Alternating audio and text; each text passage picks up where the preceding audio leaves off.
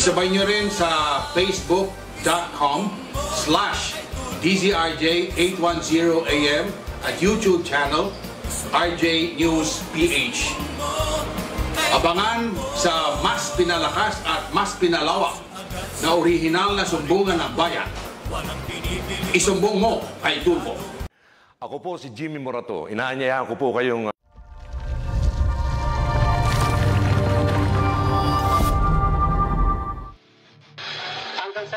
yung pulis bumulot ng baril. Yung mic ko lang na bumulot ng baril. At pinalo sa akin, buti malang sa ulo, ano, sa ulo ako tinamaan. Ano kaya ang pakiramdam ng mga tipong biktima nagsusumbong sa amin? Malas ang talaga ng nabibiktima. At nagpakita na ang pulis na mukhang kapre. On Tulfo, tagapagtanggol ang naapi Ito ay tunay at hindi ito sabi-sabi. Isumbong mo kay Tulfo, siyang bahalang gumanti Ang mga mapang-abuso ay lahat tumutupi On Tulfo, tagapagtanggol ang naapi Ito ay tunay at hindi ito sabi-sabi.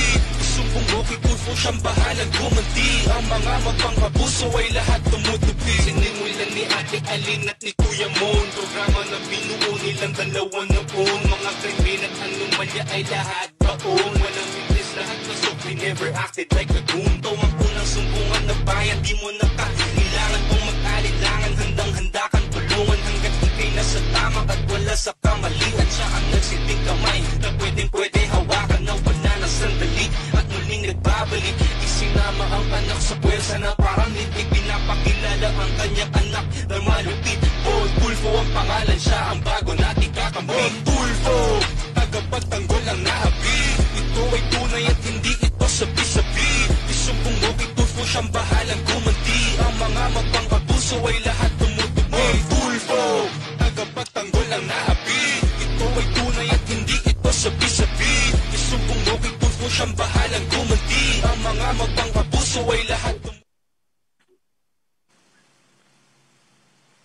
Magandang hapon po, Pilipinas. Uh, ako po si Kuya Mon, yung original uh, original na sumbungan ng bayan. At ako naman po si Bon Tulfo. At ako naman po si Angel Desa Maderal, pansamantalang hahalili kay Angel, Ay- um, Angel Alin. Ayun. Po si Magandang magandang hapon po. Ng hapon. Angel Alin, uh, mga kaibigan, na indisposed. Uh, Mm-mm. magaling ka dyan, uh, Alin. Yes, Yes, get well soon, partner, ha? Hmm. Totoo, totoo po. Ayun. Ang uh, sige, Alin, eh, may mga atake na asthma. Kasi ayun, opo. hati kasi siya. Mm. Ayan. Kaya nga Kuya Mon, hindi siya pwedeng lumabas muna ngayon kasi vulnerable sa COVID yung mga taong may ah, history ng Correct, illness. that's right. Yeah. Ayan. So medyo Kaya naka- mahirap ah, mahirap ang kalagayan ni partner. Ah, sana Yes. ah, hopefully maka, ma- you can join us very soon pero for the meantime ah, magpahinga po muna kayo yes. ah, partner. Totoo. Well. Yes. For the meantime, ako po muna ang hahalili kay Ma'am Aline Ferrer. Anyway, Sir Bon, ah, Kuya Mon, ah, bago tayo dumire-diretso dun sa ating serbisyo publiko, no, pinatatanong ng ating mga netizens kung ano daw ba yung ah, ano daw yung side or ano daw yung point of view ng mga tulfo regarding dito sa bagong katawagan sa mga Pilipino. Hindi na raw kasi Pilipino o Pilipina ang tawag. Filipinix na daw at saka Phoenix. Yan, Ginagawang Kuya Mon. Magandang dictionary. tanong yan, Kuya Mon. Ano? Yung? Magandang tanong po. Oh. Ah, ngayon ang kat ano, at tinatawag na po Kuya Mon ang ah, mga Pilipino is Filipinix na para wala na raw ah, gender ah, Shaming. racial ah, discrimination or gender ah, division. Para may gender equality daw. Para walang Pilipinong bakla, Pilipinong tibo, Pilipinong lalaki, Pilipinong Oo, wala ano nang daw. Wala nang Pilipina. Filipinix ang tawag. Nagulat Ang nga ako tawag. eh. Alam mo, ay sana yung ah, binigyan nila ng pansin yung proposal nung araw ni ah, Senator Eddie Elarde, yung ah, pumanaw na si Eddie Elarde. Opo. na baguhin yung pangalan ng Pilipinas Mm-mm. ah, at ah, tawaging Maharlika. Maharlika. Mm. Oh. Eh kasi Ah, parang royalty. Maharlika royalty o Freeman, di ba? Maharlika lo- royalty. Kaya uh, kasi tayo yung Philippines uh, from uh, uh, pinangalan tayo dun sa hari ng Espanya na malupit. Mm. King Apat- Philip. Kulo ko yun, yung uh, King Philip. Okay. Loko-loko. Salbahe pala yun. Uh, uh, he harassed, he persecuted the Protestants, ha? Uh, Protestants. Mm. Kaya marami siyang pinapatay ng mga Protestants. Protestante. Yung mga tinatawag nilang pinagsuspetsahan nilang heretics. Mm, heretics. Opo. Eh, di, di parang hindi maganda ang ipangala, ipangalan sa atin o kaya baka naman naging ah, pag ah, nagbago yung pangalan ng Pilipinas ay hindi na tayo mamalasin. Kasi ngayon, ang malas, ang malas-malas natin. Alam kong bakit? Kung hindi bobo yung leader natin, kawatan. Ayan. Totoo yan, Kuya Mon. Tama, Yan. Kuya Mon. Totoo yan. Oh, yeah. Sabi nga nila, Kuya Mon, ang ugat ng kahirapan ay korupsyon na dapat ah, puksain na natin. Saka yung ano, yung liderato natin. Isa pa yun. Bata pa kay bata pa kasi kayo, kayong dalawa, mga actually Ibon eh munti ka rin maging millennial. Ito si Yes millennial. Yung Yes po, uh, naabutan ko yung doon na number uh, number two tayo sa Japan. Bata pa naman din ako noon. Uh, sa economy. Yes. Yung uh, mga yung mga ibang bansa sa Asia, gaya ng Mm-mm. Hong Kong, uh, Taiwan, uh, Malaysia, Indonesia, Thailand, ay uh, malayo sa atin sa ekonomiya. Eh, ngayon ay nalagpasan na tayo at tayo naging basket case. Yes, totoo yan. Yun. Tama, Kuya Mon. no? Baka naman sa pangalan, kagaya ng, di ba, ah, dapat siguro baguhin natin yung pangalan natin na Filipino. Kasi yung Filipino nga, ah, doon sa pinangalan, doon sa marupit na hari ng Espanya, araw, di ba? Yes. Kuya Mon, kaya nga Kuya Mon ang sabi nila, palitan na daw, hindi na daw Pilipino, hindi na Pilipina, Philippinix na daw ang tawag. Phoenix, no? Oo, Okay. yun. Bakit? Actually, Meron, actually ang uh, tanong, actually ang tanong ko dyan, bakit Yung ah, may may joke ako diyan. Ano yun, Kuya Mon? Yan, excited na naman ang ating mga netizen dyan sa joke mo na yan, Kuya Mon. Yung ah, gusto ni Maria na mag ah, magpalit ng pangalan kasi nung nasa college siya, Opo. palagi siyang tinutokso. Mm. Kasi ang pangalan niya, Maria Duhay Bilat. wow, Dahil, parang mag, alam mo naman, eh, sa Bisaya, mga kaibigan, eh, alam ko marami tayong mga Bisaya. ah, marami. Bisaya, Opo. yung, ah, yung bilat, ari ng babae. Kahit hindi po Bisaya, Ba- Kuya Mon, alam yan. Kahit dito sa Tagalog eh. Ay, sa Tagalog, ah, alam. is ah, dalawa sa sa Bisaya. So, Duhay Bilat, eh, dalawang ah, are. eh, palagi siyang Maria Duhay Bilat, Maria Duhay Bilat. Ayun. So, ang ginawa niya, pumunta sa korte, kailangan pag uh, change of name, pupunta ka sa korte. Yes po. At uh, uh, nagpa-change na siya ng pangalan. Mm. Uh, change of name siya. Kaya ngayon, ang pangalan niya, hindi na Maria Duhay Bilat. Uh, Ano na, Kuya Mon? Maria Usay Bilat. Ganun pa rin yun, Kuya Mon. Wala pa rin pinagbago.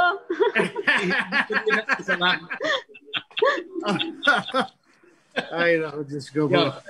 Yeah. Ayan, ayan.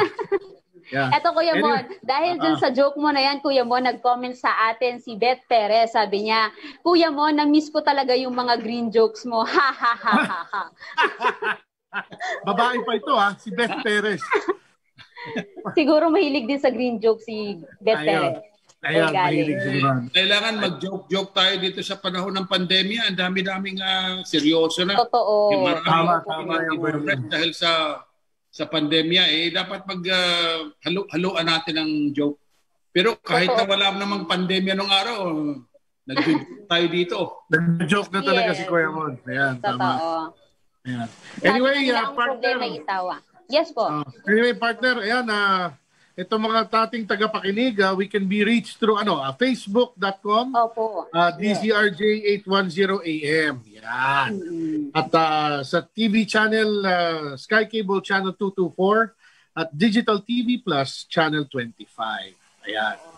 Ayun, Kuya Mon, partner Bon, ah, kunin ko na rin yung Yeah. opportunity na to para i-plug yung ating mga accounts na pwede nilang pagsumbungan para sa mga Yes, please. naninirahan sa mga probinsya, naninirahan Yan. sa mga liblib na lugar. So sa Nako, mga yan. hindi na hindi maaaring makarating dito sa Metro Manila at makabisita sa Mm. opisina namin, pwede ninyo kaming i-reach doon sa aming mga cellphone number. Pwede nyo kaming i-text at i-call sa 0998 792-7179 or 0998 792-6304. Para naman sa mga... Ito ulit, uh, Desa, kasi palagay ko, kumukuha pa ng mga ballpen yung... Ayun. Ayan. Sige Sige, dandan. Pakikuha ng inyong mga ballpen at papel, isulat ang numerong babanggitin ko po. Para lang loto eh, no? Numerong Yes. babanggitin. anyway, i-text nyo po kami at tawagan sa 0998 792-7179 at 0998-792-6304. Ayun, antabayanan nyo lang po yung magiging reply ng reporter in charge dyan. Sigurado pong sasagutin kayo. Hindi man ah, tawagan kayo agad-agad pero mag-a-advise po kami kung anong oras namin kayo tatawagan para hingi ng inyong mga reklamo. Ayun. Ayan, humihingi na rin ako ng uh, pahintulot sa mga ah, ating hindi masagot o mabigyan kaagad ng kaagarang pansin dahil talagang sa totoo lang mga kababayan, ating mga tagapakinig, kami po ay napupuno na. Puno kami ngayon ng mga Totoo messages at unti-untiin po namin uh, we're, we're skimming through. Ah, hopefully matawa, matatawagan at mababalikan namin po kayo sa lalong madaling panahon. Kahit nga sa opisina, marami na tayong, maraming po. Marami. Personal. Kuya Yes, Mon, Kuya sa- Mon. Actually, Kuya Mon, uh, Angel, Desa, kanina nakita Yes. ko may upuan sa labas. Yes. Hindi, which is kanina. very unheard of. Totoo, Ngayon, punong- ang haba. Ngayon, Kuya Mon, share ko lang, no? Habang nag air tayo ngayon dito dahil naka-Zoom live tayo at nasa Yes. opisina kami nag air meron akong mga kaharap na complainants at pinapanood tayo ngayon. So, Yan. ayun. So, ibig sabihin, mahaba-haba ang pila ng mga taong humihingi ng tulong, which is nagpapakita na marami pa rin tayong mga kababayan na pakiramdam nila hindi sila naririnig ng mga nasa pwesto, nasa posisyon. Angel Desa, uh, ngayon, uh, Yes po.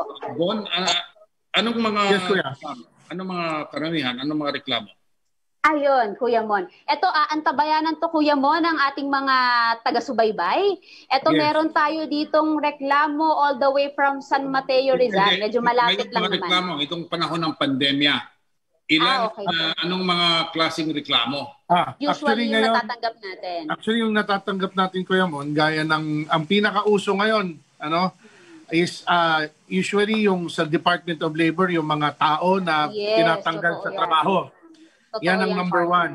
Okay? Ah, tinatanggal sa trabaho plus yung mga yun ayaw ibigay ng mga kumpanya ng benefits. Yes. Yan, yan na nga. At, At number yung- two, ay sige, sige Angel. Actually, yung Sige po. ang pangalawa, ah, ang pangalawa natin ngayon, Kuya Mon, yung mga nai-scam. Nako. Ay, Yes, ko po. Lalo na yung mga nag invest sa bigas, sa mga sa mga ah, produce, mga ah, Mm-hmm. mga meat, mga basta anything about investment, napakaraming scam. Sunod-sunod yan. Totoo Mul- yan. Diyos ko, Totoo yan. Kuya Mon. Dahil marami Grabe. nang naghihirap, mas maraming nanloloko ngayon. So, Maraming nanloloko. Tapos isa pa dyan, Kuya Mon, walang kamatayan na OFW repatriation natin. Actually, Yes. Kuya Mon, from the past weeks, mula nung nagbukas tayo muli, mas lalong dumami yung mga requesting for repatriation natin kasi maraming mga uh, company din abroad ang nagsara. Tulad ng Yes, at saka- situation natin dito sa Philippines. At at saka alam nila Kuya Mon, itong original na sumbungan ng bayan, alam nila yan ang ating specialty, repatriation cases. Alam pala ng tao yan. And I thought people forgot about your uh, your uh, goodwill. Hindi pala. Kuya Mon, hindi nila nakalimutan. Kaya pagdating talaga sa kaso ng uh, uh, ang mga OFWs nating sinasaktan sa ibang bansa, talagang dito talaga sila pumupunta. Teka At muna. Kuya Mon, yes po. Ah, ah, yung mga sumbong laban sa pulis, yung mga abusadong pulis. So far ngayon, So far ngayon, Kuya Mon, medyo mangilan-ngilan na lang yung natatanggap natin na sumbong laban sa mga kapulisan natin. Siguro bunga na rin yan, Kuya Mon, nung internal cleansing na ginagawa ng pulisiya natin ngayon. Yes. Pero Kuya Mon, napansin ko, ito lately lang, um, ngay- just today, may na-receive tayo na tatlong kaso ng rape case na nangyari daw during that time ng ECQ. So, Yeah. isa yun sa mga napansin natin na dumarami na nare-receive natin na reklamo. So, ibig sabihin, maraming ah, kaso ng domestic violence, sexual harassment, sexual Yeah. violence na nagaganap doon sa panahon na magkakasama ang lahat sa bahay. Ay nako, yung ah, tinatawag na rape, uh, incest. Yes. Incestual Totoo, relationship. Kuya Mon. Mm. Ay, God. Ay, nako. Kanina nga lang, Kuya Mon, may na-receive ako na reklamo. Rape din ito. Ni-rape siya ng kanyang pinsan. Araw-araw daw siyang ginagahasa. At sinasabayan sa kanyang pagdigo. So yan, eh, tututukan natin yan. Ah, bantayan ninyo ang kaso na yan dahil ah, bukas ipepresent namin yan at sasamahan namin na yan. Diba? Desa, ang dami-daming kaso na incestuous rape na ibinulog sa atin. Totoo Ang yan, Kuya Mon. dami-dami na hindi na mabilang. Totoo Tama. yan. uh, na-action na natin yung mga ng rape, tatay, kapatid, ay napakulong natin. Totoo yan, Kuya Mon. Meron pa ngang isang babae na ni-rape ng kanyang lolo, ng kanyang tatay, ng kanyang tiyuhin. Yes, Dugo ah. Laman ah. yes po. Dugo nila, hindi hindi yung mga kwan, blood relatives talaga. Blood, oh, yes, Ah, yes. pinsan, ay nako, napakulong natin yung tatay at saka yung lolo. Eh, miskapo yung, ah, yung uncle. Mm-mm. At ah, para mabigyan ng bagong buhay yung ah, yung babae ay pinasok natin sa isang ah, fast food chain. Yes, Ayun. Kuya Mon. At uh, nakipag-aral ng Ac- Actually, actually, kuya mo, ang masama nga dyan yung trauma na Mm, minsan yan. matagal, matagal, di ba? Angel Deza, napakatagal bago na ma-recover yung uh, Mm, sanity. Kasi very twisted eh. Very, actually twisted talaga yung uh, uh, magiging Mm. epekto gawa ng napaka-abnormal, very abnormal talaga ang incestuous rape. Ang ah, masakit pa diyan kung minsan yung bata na babae, hindi niya alam na mali yung ginagawa sa kanya ng Totoo, Kuya Mon. Yun. Totoo yan.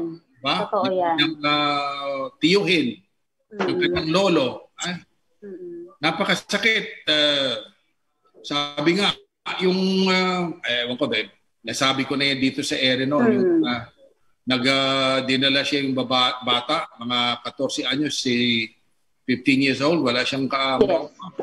At dito siya, dito na sila nanirahan ng kanyang tatay bilang ah, husband and wife, bilang mag-asawa. At ah, nagkaanak sila ng ah, dalawang, nagka, nagkaroon sila ng dalawang supling na puro may diferensya. O, uh, siyempre, incestuous, eh, the product of uh, incestuous relationship, either may diferensya sa utak, or may diferensya sa physical defects. Physical, may physical Yes, defect.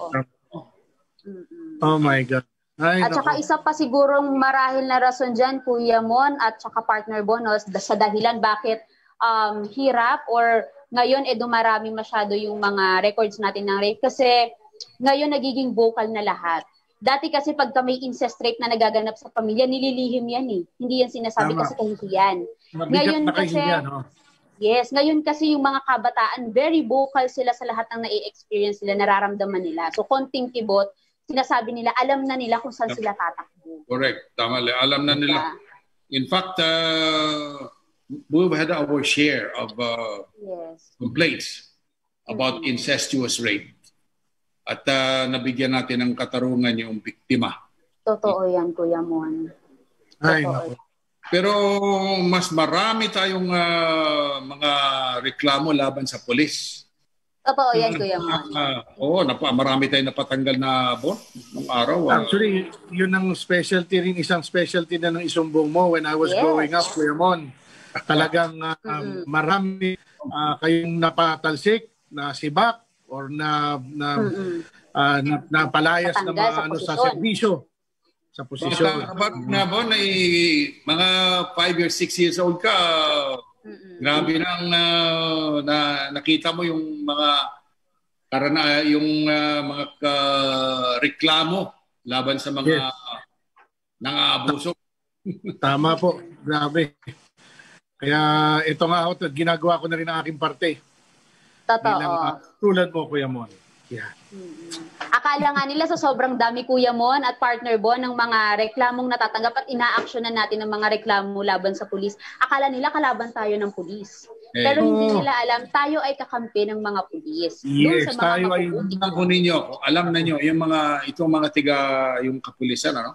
kung alam lang ninyo na ang ah, gusto, na paulit-ulit kong sasabihin sa inyo na ang tatay ko ay pulis. Philippine Constabulary. Opisyal siya ng Philippine Constabulary.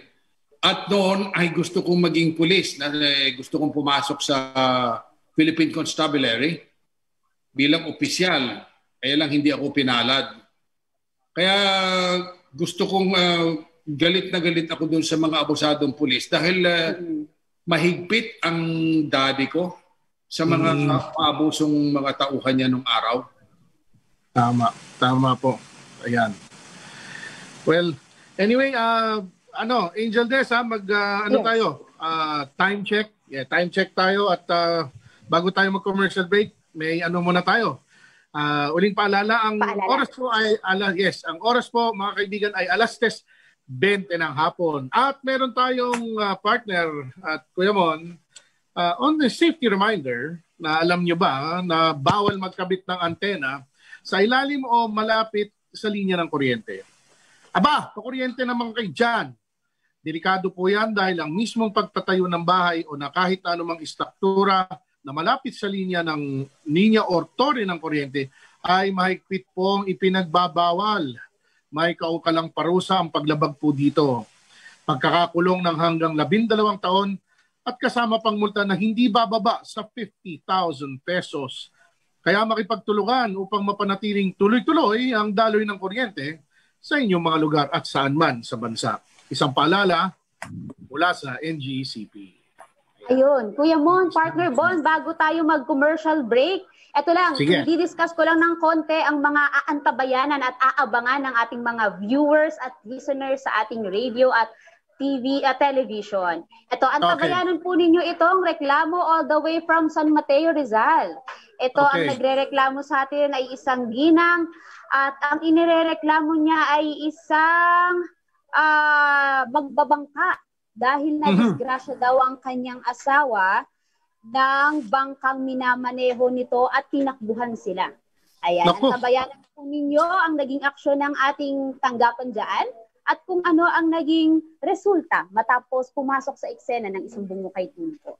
Samantala, ang tabayanan at bantayan po ninyo itong isang reklamo ulit laban sa isang construction firm. Sigurado maraming makakarelate nito dahil maraming nagpapaayos ng bahay ngayon. Yan, Um, okay. Nagbayad sila ng nagbayad sila ng limpak-limpak na, na halaga na may pangakong sa loob ng tatlong buwan ay masusolusyonan at ma- maitatayo na ang kanilang dream house. Pero sa kinasamaang palad, magpahanggang ngayon ay hindi pa nakikita ang dream house niya at naging nightmare house ito. So, scam Ayan. na naman po ba yan? Yes, Oh, antabayanan din ninyo yan. At isa pa, ito ah, Kuya Mon at partner Bon, yung reklamo ng ating mga manggagawa, paulit-ulit sila na ah, kinakawawa at hindi binibigyan ng tamang sweldo at hindi itinutayos ng kanilang amo. Antabayanan po ninyo ang kabuuan ng mga istoryang yan sa aming pagbabalik. Patuloy po ninyo kaming abangan. Ayan, samantala ang oras po natin ay 3.24 na po ng hapon. Tagapagtanggol ang naapi Ito ay tunay at hindi ito sabi-sabi Isumbong mo Tulfo siyang bahalang gumanti Ang mga magpang-abuso ay lahat tumutupi Tulfo, hindi ito sabi-sabi Isumbong mo kay Tulfo siyang bahalang gumanti Ang mga magpang-abuso ay lahat tumutupi. Sinimulan ni Ate Alin at ni Kuya Mon. Programa na binuo nilang dalawa na buong Mga krimen at anomalya ay lahat baon Walang witness lahat pasok We never acted like a goon. To ang unang sumbungan na bayan Di mo na kailangan pong mag-alilangan. Handang-handa kang tulungan Hanggat ikay nasa tama At wala sa kamalian Siya ang nagsilbing kamay Na pwedeng nagbabalik Isinama ang anak sa pwersa na parang litig Pinapakilala ang kanyang anak na malupit. Boy Tulfo ang pangalan siya Ang bago nating kakampi. Boy Tulfo Tagapagtanggol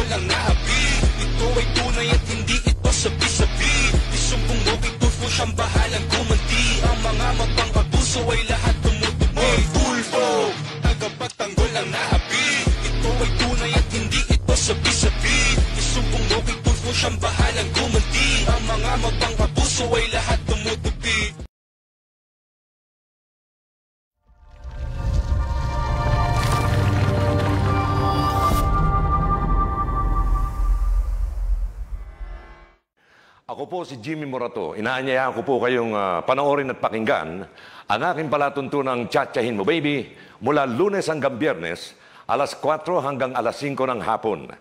Dito lamang sa Radyo Bandido TV. Simulcast on DZRJ 810 AM, Sky Cable Channel 224, TV Plus boxes, and free-to-air TV. Facebook.com slash DZRJ 810 AM. YouTube channel RJ News PH.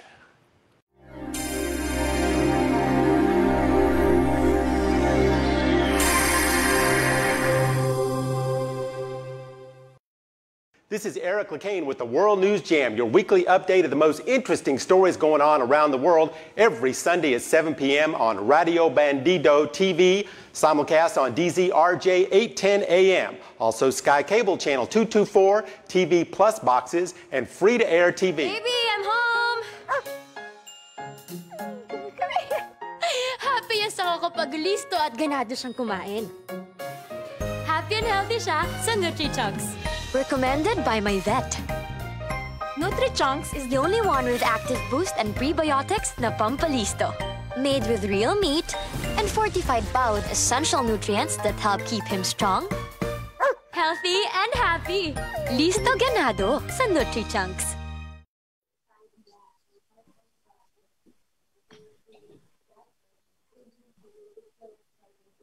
Oh. Ayan, magandang magandang hapon po. Nagbabalik na po tayo dito sa Isumbong mo kay Tulfo. Ayun. Teka muna, may joke Yes ako. po. Sige, Kuya Bon. Ah, di ba yung sa Radyo Bandido, uh, yung, Apo. yung uh, tigidig-tigidig, yung uh, sa kabayo. Yung, apo, Kabayo, background music. Merong uh, sakristan at saka yung Opo. pare. Eh nagmamayabang nga sila dahil palagi silang uh, ano ito, palaging uh, sabi niya, sabi ng isang pare, dami kong uh, dami kong na biktima na babae dito, sabi. Apo. Eh, sabi nung sakristan, ah, mananalo ka mo ba sa akin, Father? Mas marami ako. Ah, siyempre, bata ako. At saka, ah, eh, mas gwapo ko sa ikaw. May edad na. Sabi ng Yeah. parang, sige, mag-contest nga tayo. Paligsahan tayo. Pagkatapos ng misa, ah, kailangan nga, pagkatapos ng misa, lalabas tayo ron sa, kwan, lalabas tayo doon sa, doon tayo sa, sa pintuan ng simbahan. At ang sinyalis natin, pag ah, nagalaw ko yung babae, tigirig. Pag ah, dalawang babae, tigirig, tigirig. Pag tatlo, tigirig, tigirig. Tigirig. Di, Okay. Tignan natin para hindi tayo mahalata. Eh di, Okay. katapos sa takbo sila, yung pare at saka yung, ah, yung si Pedro na sakristan. Sabi nung ah, paglabas ng tatlong babae, tigirig, tigirig, tigirig, tigirig. Oh, sabi ni, ganon din si Pedro, tigirig, tigirig, tigirig, tigirig. Tapos eh, si may duman, duma, dumaan na may matanda, sabi ng pare, tigidig. Sabi ni Pedro, tigidig. Tigidig. Talagang sagutan sila. Talagang uh, close. Oh, Alam mo, matindi. Ha? Alam mo, sabi ni uh, uh, Pedro, alam mo, Father, ang hindi ko lang nagalaw dito sa bayan natin, yung nanay ko at saka yung kapatid kong babae, sabi nung pare, tigidig, tigidig, tigidig, tigidig.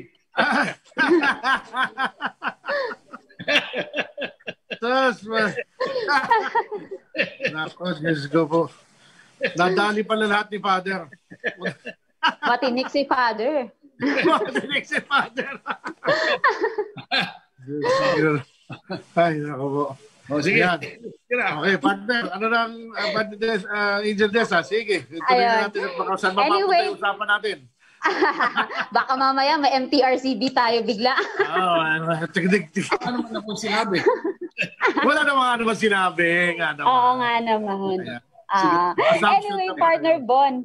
Sige. Partner Bon, Kuya Bon, ito, dere-derecho na tayo dito sa ating unang sumbong.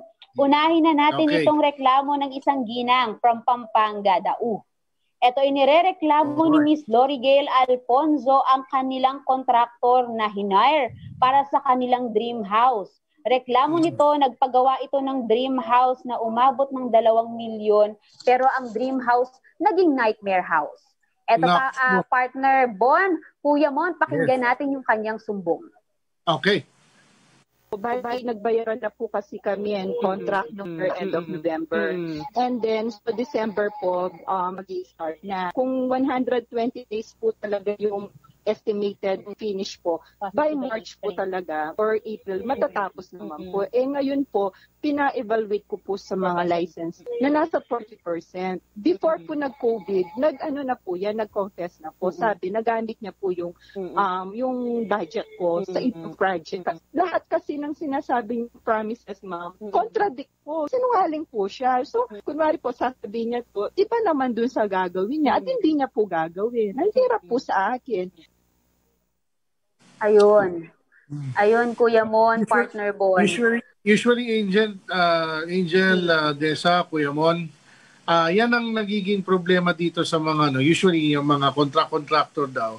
Ang, nang, ang problema kasi dito, humihingi kasi yan ng down payment. Totoo. Yan ang nagiging sakit. Tapos bibili, kunwari, oh ma'am, 25% of the contract. So sa one po sa, Mm. sa 2 million, 25% ton. So medyo malaki-laki din, mga 500,000, so on. Ma'am, unti-unti yan. Ma'am, padagdag po akong 200, ganun. Ma'am, nirarush ko na po. Hanggang sa mab- mga lahati na hanggang sa mabuo na yung bayad, wala pa rin bahay. Mm. Ayan, Ang yan ang problema hindi ko maintindihan. Yes. Sige, Ang ahead. problema nga dyan, Kuya Mon, partner Bon, no, nagbayad na kasi siya ng almost 1.4 million dito sa Ayan, contractors. just like what I said, ganyan ang scam yan. Ngayon, Yes. ang usapan kasi nila, three months lang, matatapos na yung dream house niya kasi minamadali nga nila. So, ina-assume Hmm. niya, nag-start ang kanilang transaction ng November, December, January, February, supposedly February to March, dapat tapos na yung bahay na i-turn over na. Ngayon, pagdating ng January, February, binisita niya yung site, wala halos progress. So, nagduda na siya. Yun. Usually, ang gina dapat, actually, bigyan, ano ko na, kuya mo, ano, masingit ko lang, ah, Angel Desa. Minsan, ang, ang, kaya minsan yung iba kailangan matuto na eh. Hindi lang bigay ng bigay ng pera sa contractor. Dapat sila na mismo magbumili ng materyales. Sabihin lang sa contractor, sige, ano ba kailangan mo materyales na maumpisa na yan? Para at least makabawas. Kasi kung ibibigay the whole lot, kasama ng labor and everything, kasi papas drawing pa and everything. Kadalasan nagkakalokohan talaga. Marami na pong ganyan. Totoo yung sinasabi mo, Bon, pero uh, yung namang uh, nagpapatayo ng uh, bahay, hindi naman niya pwedeng uh, bantayan yan uh, sa araw-araw, gabi-gabi. Tama po. Yun nga po eh. Dapat may element of trust talaga. Wala kang contractor. Kaya naman mga contractor, huwag naman ninyong uh, abusuhin yung tiwala na binigay sa inyo. Yun. Totoo, Kuya Mon. Totoo Saka yan. nagbabayad, di ba, Angel, eh, kuya mo, nagbabayad naman sila. Bakit hindi nila gawin yung parte nila? Yun ang hanggang ngayon eh, misteryo sa akin. Meron akong Kaya isang, nga, yes meron po. akong isang contractor na kaibigan, ha? Mm-mm. okay. Kung may nagreklamo uh, sa kanya, sa sa atin. Naku, Reklamo laban sa kanya sa atin eh. At uh, talagang sinabi ko, kapare, eh, ikuha mo naman ito. Eh, nireklamo ka. Mm-mm. Eh, hindi niya na, na hindi niya na ina-actionan. Eh, sinabi ko sa kanya, eh, sasampahan ka namin ng ganito. Uh, Mm-mm. reklamo. Yes. Sa, magkaibigan tayo Mon, bakit naman ginagawa mo ito sa akin? Eh, sabi ko, hindi pagkakaibigan ng uh, wala na pagkaibigan pag uh, reklamo ito eh. Trabaho ko ito, paano yan? Yes. Pilitan siya. Ayan. Ganyan po uh, dito sa isumbong mo kay Tulfo, kahit na po ang sinusumbong po uh, ninyo ay uh, kakilala po namin, o kaibigan ko. Mm-mm. Hindi ko po uh, hindi ko po uh, bibigyan ng uh, anong sinasabi nila na uh, Padrino. Padrino. Walang kumpa-kumpare. Wala po yan. Walang, uh, marami na tayong, uh, marami na nangyari sa isumpong mo kay Tulfo mga kaibigan na mga kaibigan ko ang sinumbong at uh, nareklamo at ginawan ko ng aksyon. Eh mula noon ay nawalan ako ng uh, kaibigan. Eh di bale, ganun ho talaga, trabaho yan eh. Totoo, Kuya Mon. Kuya Mon, Kasi, may dagdag ko rin, I'm sorry, uh, Angel ah, sige, Desa, sige, may partner dagdag, Bon, yes. may dagdag ko na rin. Bukas, ang tabayanan nila din, uh, may plug ko na, mayroon tayong kaso ng scam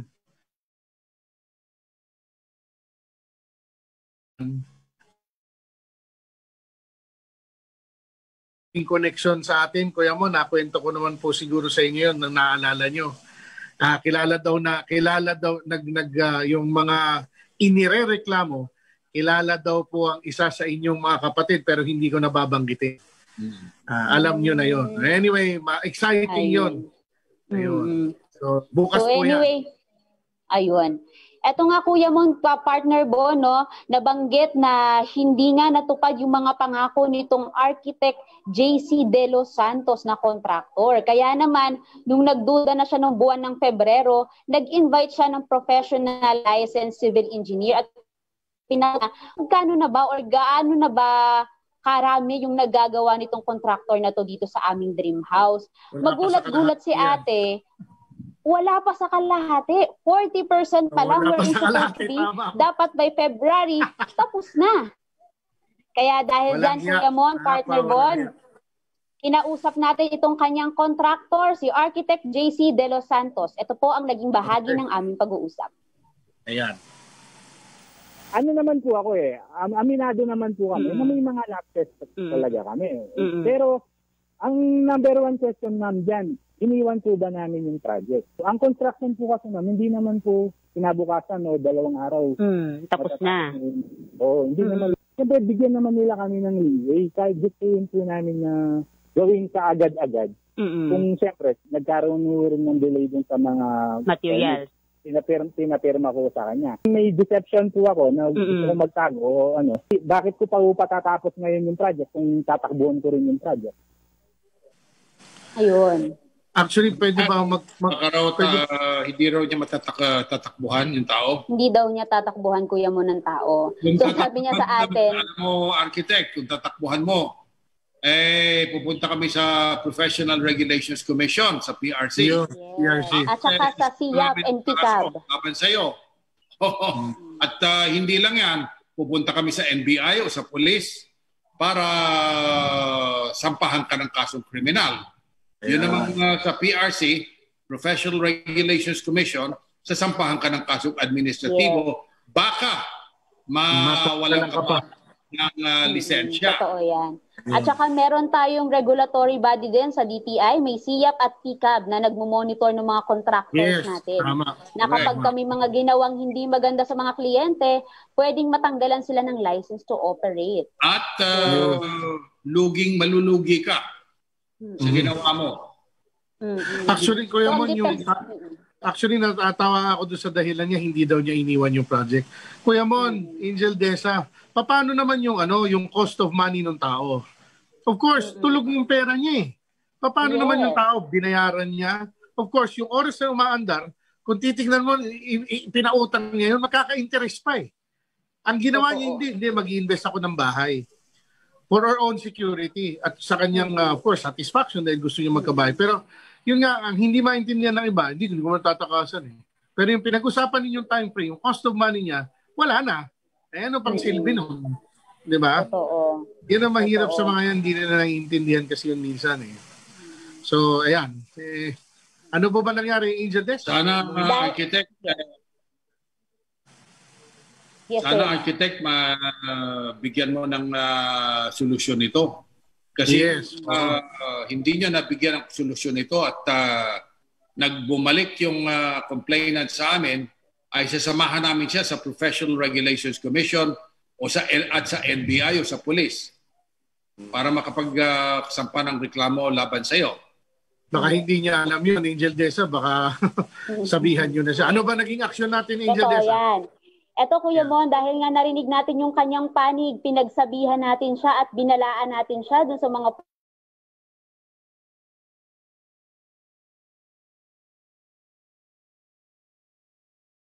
nagkaroon na lang tayo ng kasunduan. At ang usapan na ito, Kuya Mon, partner Bon, sa pagitan na natin at saka ng contractor. Ito ang naging pag... 900. Inahabol po namin ngayon yung 500 bago po siya magbayad ulit. Po yung Oo. usapan namin.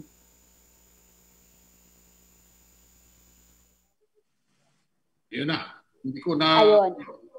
So in short part, partner Bon, Kuya Mon, ang naging usapan kasi namin ni Architect JC, mula kasi ang Okay. complaint talaga nito ni Miss Dory Gale, pag kinakausap niya itong si Architect, hindi nila mahanap kung nasaan. Actually, nawawalan nga daw ng connection pag tumatawag siya Hindi sa disappearing cellphone. Hindi rin uma-appear dun sa site. So ngayon, yun yung reklamo niya. Ngayon, Kuya Mon, dahil wala tayong contact number ni Architect, minessage natin siya ngayon sa Facebook, hinanap natin yung pangalan niya. At luckily, nakagkaroon naman tayo ng communication sa kanya, nakausap natin siya. Dahil dyan, Kuya Mon, pinagkasundo natin sila. Ang naging kasunduan, Kuya Mon, naganap na lang sa pagitan natin at siya ni Architect. So, ang agreement namin ni Architect, hindi siya pwedeng mag-fully pay kasi 1.4 million pa lang yung naibibigay niya. So, kulang pa ng 600,000. Hindi niya pwedeng iabot yung 600,000 na kabuuan ng contract hanggat hindi niya nare-reach yung 1.4 na expenses.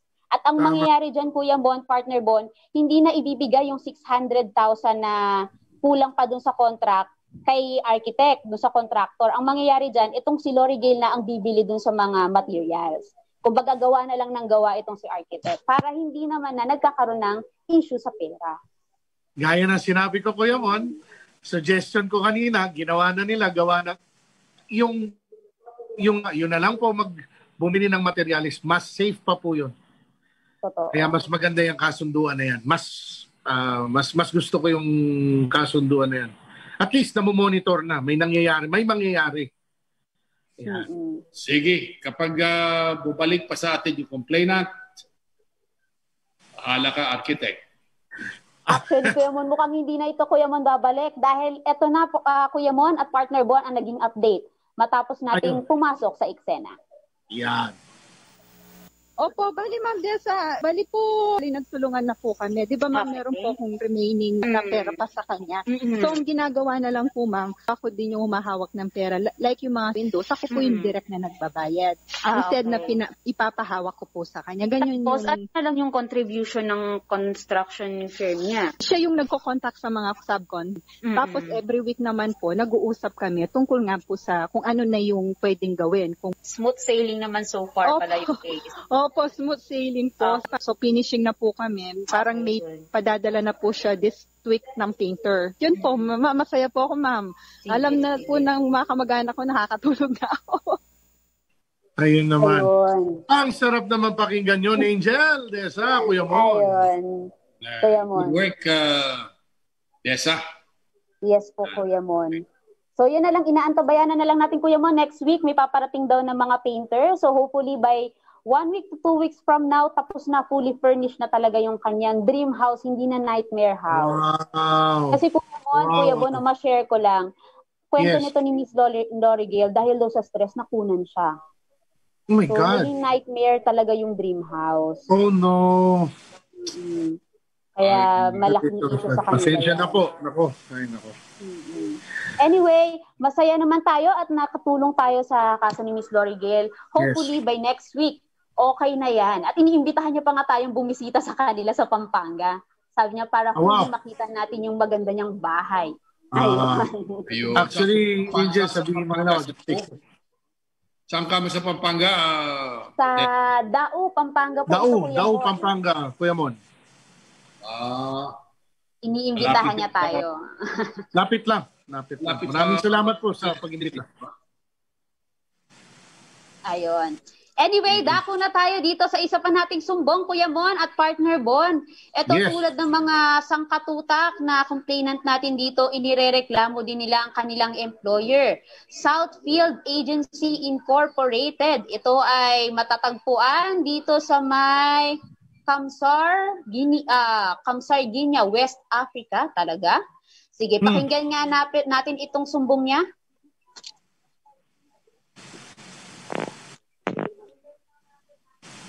Sir Tulfo, kami po yung crew ng ALM Tingka. Mga kasamahan ko po yan sila, sir. Na nandito sa ALM Tingka na nag-positive sa COVID-19 last September 2.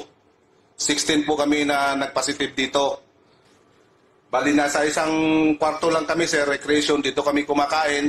Yan yung mga pagkain namin. Yan yung... Dito lang kami nag-iipon-ipon. Kasi nga sinisegregate kami doon sa mga nag-negative. Ang hiling lang naman namin sa kumpanya namin, sir, Southfield Agencies Incorporation, na nasa 2115 Madre Ignacia, Malate, sir. Na-aksyonan nila kami dito. Wala kaming gamot para sa sakit na to. Wala silang aksyon. Walang antibiotics. Walang, walang vitamins.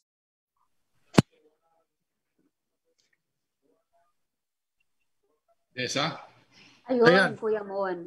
Ang nirereklamo pala nito, Kuya Mon, pinabayaan sila ng agency nila abroad. Ay, nako. Yung agency dito sa sila. Maynila, di ba? Yes po, Kuya Mon. Alam mo yan talagang sakit, Angel Desa, Kuya Mon. Napansin ko lang ever since nung nag-umpisa kayo noong ah, 1991, talagang yan na talaga. Agency, pina, oras na napagkakitaan na nila yung tao, bala na sa buhay mo dyan. Kahit na magulpi ka Yes. pa dyan, kasakit ka. Pero pag kinalampag ng isumbong mo kay Turpo, eh, nagigising-gising po yung mga laman loob. Ayan, ano ba naging ano ni ano ah, Angel Desa? Ano po ang Ito pa, Kuya Mon, partner Bon, pakinggan pa natin yung pagpapatuloy ng kanilang sumbong. Ayan, sige.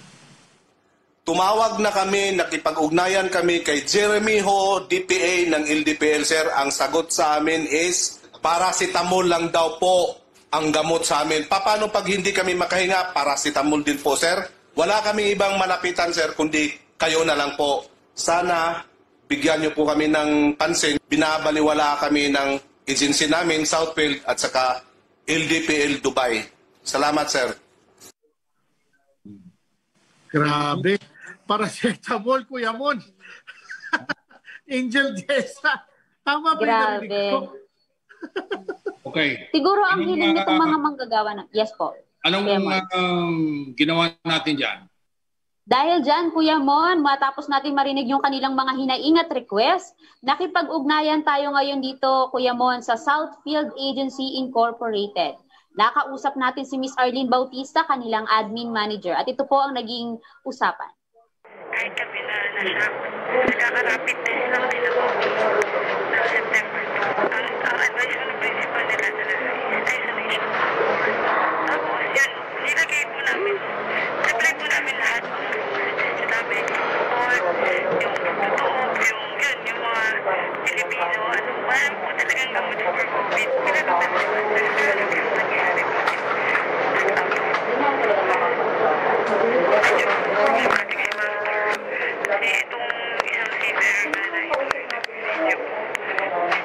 siya aggressive po, namin sa principal. Meeting sila. Oo. Noong araw na rin na yun, Saturday ay may video call with the principal. Hindi nangako naman po. At dumating naman nung kahapon Sunday, yung mga nire-request nila. Naka-PPE na po lahat, may meron na pong sword and Yan. Angel Desa. Medyo malabo lang yung linya natin, no? medyo technical yung problema. Anyway, ang naging resulta dyan, Kuya Mon, partner Bon, matapos nating makipag-ugnayan dito sa Southfield Agency, agad silang nakipag-coordinate doon sa ating mga OFW. So, ang Ayan. sabi nila, padadalhan daw nila ng lahat ng mga face shield, face mask, gamot, vitamins itong mga OFW since yun lang naman talaga yung request ng mga OFW yung ma- makita nila na may care sa kanila yung agency. Of kasi ang course, kinakatakot lang naman nila eh baka dahil sa kakulangan dun sa mga vitamins na yan, kakulangan dun sa mga protective gear na hindi binibigay sa kanila ng employer nila, eh mahawa sila ng sakit. So, yun ang pangako naman sa atin ng agency, lahat ng kailangan ng mga OFW, ibibigay nila. At kung sakaling magkasakit daw ang mga ito, tutulungan daw nila ang mga OFW dun sa kanilang pagpapagamot. So yan, eh, taliwas na, partner. Ah, Kuya Mon, dun sa sinabing paracetamol na lang daw ibibigay. Buti naman. Salamat. Ah, pambihira, gago talaga oh. Paracetamol, parang uh, kwan lang yan eh. Yung uh, pain reliever lang yan eh. Masyado Kaya nilang po. minamaliit ang COVID. Grabe po, opo. Kawawa naman. Mal- minaltrato na nga sa ibang bansa. Mamaltratuhin pa ng Totoo. agency. Diyos ko naman. Yun nga yung reklamo sa atin ng mga kababayan natin na nag-OFW eh. Hindi na maganda yung turing sa kanila ng mga employer nila na ibang lahi. Ganon din ang turing sa kanila ng mga kababayan natin. Aray ko naman. Yung mga Wag naman. agencies na nagpadala sa kanila sa abroad, di ba? Yes. Yes. po. Opo. Tapos ipinapasa yun, Kuya Mon, di po ba? Desa, doon sa employer naman doon sa ibang bansa. Yes. So, ang sinasabi po kasi nila kadalasan, ay, labas na kami dyan. Iba na ang employer nila doon. Hindi nila alam, sila ang punot dulo. Lolo ko Totoo, sila ang recruiter. So anything na Broker, mangyari, yun, tama. That's the right term, broker. totoo. Recruiter or broker. Anything na mangyari sa Broker or OFW broker. natin abroad, eh sila ang mananagot. So dapat tutukan nila yan, ibigay nila yung mga necessary ng mga yung mga pangangailangan ng mga OFW natin. Dahil at the end of the day, kung magkakasakit yan, mas lalong lalaki ang gastos nila dahil pananagutan nila yan. Saka bukod dyan, yan ang ating mga bagong bayani. Yan. Totoo. Yan na yung mga ano, millennials na pupunta sa ibang bansa. Alam naman natin yan. Di ba, Kuya Mon? Alam mo, sabi natin, bagong bayani, bagong bayani, yung mga OFW. Pero lip service lang. Salita lang yan. Hindi natin Tama. tinutunan sila. Hindi Sila natin natutupad. uh, Tama. Nag, nag-remit ng uh, bilyon-bilyong uh, piso taon-taon sa ating uh, Taon-taon, yes. bansa which has uh, kept our uh, country afloat economically. Yes, tama po yan. Baka hindi nila alam yon macro, micro, mga basic economics. Eh, y- yung uh, para lang uh, gumanda yung pangalan, ginawa pa nilang OFW, contract worker, di ba nung araw? OCW. Yan ang tawag noon sa oh, Ah, okay. panahon nata ni uh, ni Pangulong uh, Pangulong Aquino? Ah, era pala. Ano ko, Aquino pa. Ang ginawa nilang OFW. OFW OCW yan dito, uh, Overseas Contract Worker. workers. Ayan. kontrata, kontrata. Kontrata nila. Ayun. Anyway, Kuya Mon, partner Bon, patuloy pa rin, though natapos na at ah, nagkaroon, nagbigay na ng pangako itong agency niya at nagbigay na rin ng paunang budget para dun sa kanilang vitamins and medications, para dun sa kanilang mga equipment. Patuloy pa rin natin itong babantayan. Baka naman kasi sa umpisa lang sila magaling. Magaling lang sila sa salita. Panigas ko na naman monitor Ako, natin itong mga ito hanggang sa Yes, okay. hanggang sa makauwi sila. Ayun. Yan. Paano ba yan, Sige. Kuya Mon, Okay. partner Bon? Matatapos na naman ang ating programa. Ayun. Ayun. Ako po muli si Angel Desa Maderal, pansamantalang humahalili kay Ma'am Aline Ferrer. Ako naman po si Bon Tulfo.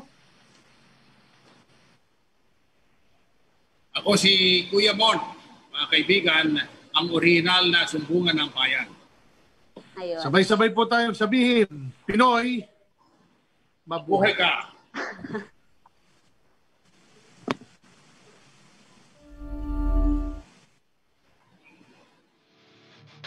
Hanggang sa nakita ko yung pulis bumulot ng baril. Yung may kulang na bumulot ng baril. At pinalo sa akin, di malo sa ulo, ano, sa ulo ako tinamaan. Ano kaya ang pakiramdam ng mga mismong biktima nagsusumbong sa amin? Malas ang talaga ng nabibiktima. At nagpakita na ang pulis na mukhang kapre. On Tulfo, tagapagtanggol ang naapi. Ito ay tunay at hindi ito sabi-sabi. Isumbong mo kay Tulfo siyang bahalang gumanti Ang mga magpang-abuso ay lahat tumutupi Tulfo, tagapagtanggol ang naapi Ito ay tunay at hindi ito sabi-sabi. Isumbong mo kay Tulfo siyang bahalang gumanti Ang mga magpang-abuso ay lahat tumutupi Sinimulan ni Ate Aling at ni Kuya Mon. Programa na binuo nilang dalawa noon. Mga krimen at anomalya ay lahat baon. Walang We never acted like a goon To ang unang sumbungan na bayan Di mo na kailangan kung mag-alinlangan Handang-handa kang tulungan Hanggat ikay nasa tama at wala sa kamalian Siya ang nagsilbing kamay Na pwedeng pwede hawakan na wala na sandali. At muling nagbabalik Isinama ang anak sa pwersa na parang litig Pinapakilala ang kanyang anak na malupit. Paul Tulfo ang pangalan siya Ang bago